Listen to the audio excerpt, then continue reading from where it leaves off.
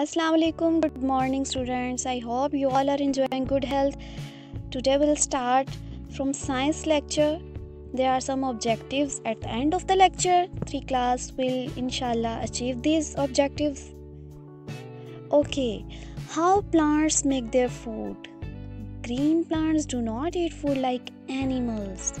They make their own food in the in their green leaves using air, water and sunlight. The food of a plant, plant is glucose three class पौधे अपनी खुराक किस किस तरह से तैयार करते हैं? ग्रीन प्लांट जो हैं, वो एनिमल्स की तरह खुराक नहीं खाते। वो अपनी खुराक खुद तैयार करते हैं in the presence of sunlight air and water so plant की जो फ़ूड है that is called glucose come towards the next page there is a picture that how plants make their food. The process by which plants make their food is known as photosynthesis. वो process जिसके दौरान पौधा अपनी खुराक खुद तैयार करता है दैट इज़ कॉल्ड फोटोसिंथेसिस वो प्रोसेस क्या था?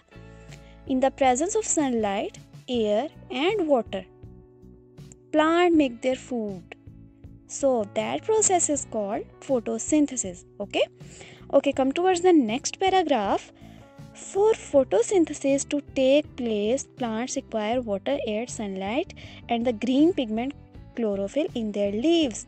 Photosynthesis के दौरान इन सब चीज़ों की ज़रूरत होती है जो अभी हमने यहाँ पे रीड की हैं। Water air sunlight and the green pigment chlorophyll yes okay ठीक class if we look in the picture that oxygen is exhaling by the plant and carbon dioxide is inhaling by the plant okay so come towards the next page air goes into a leaf through tiny holes called stomata okay, अगर हम इसको थोड़ा zoom करके देखें इस leaf को या magnify करके देखा जाए तो यहाँ पे हमें छोटे छोटे से पोर्स नज़र आते हैं three class I have already told you that there are some pores in the human body what is the function of that pores extra water came out from that pores ठीक है?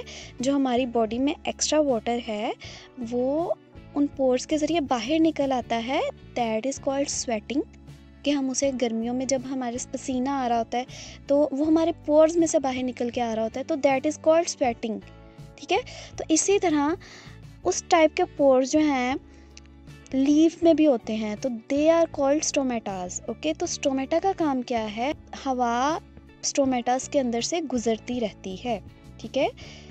Okay come towards the next page plants absorb sunlight through their leaves, which provide energy for photosynthesis to occur.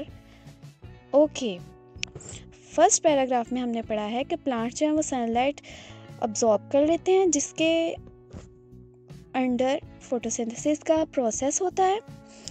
और in the next paragraph we have read that water is collected by the plant through its roots and come into the leaf through the leaf vein.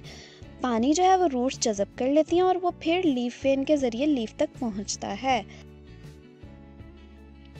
Okay all of these combine together in the presence of chlorophyll to make glucose photosynthesis के अमल के दौरान कौन कौन सी चीज़ें पाई जाती हैं? Air water sunlight and chlorophyll okay जब ये सारी चीज़ें मिल जाती हैं तो क्या बनता है?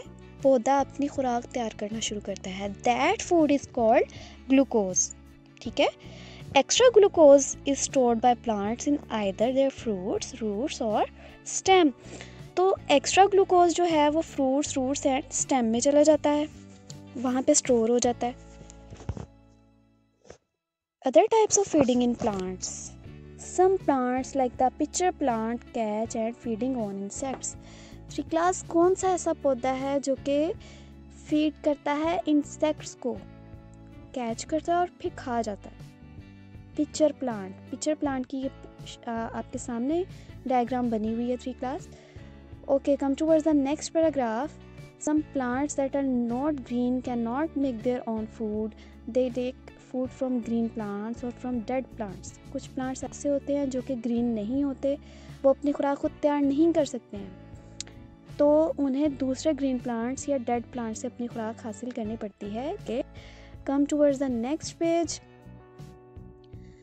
other types of feeding in plants में डॉडर प्लांट आ जाता है ये सामने डायग्राम जो आपके बनी हुई है, ये डोडर प्लांट की है a dodder takes food from living green plants dodder जो है, वो लिविंग ग्रीन प्लांट से अपनी खुराक हासिल करता है।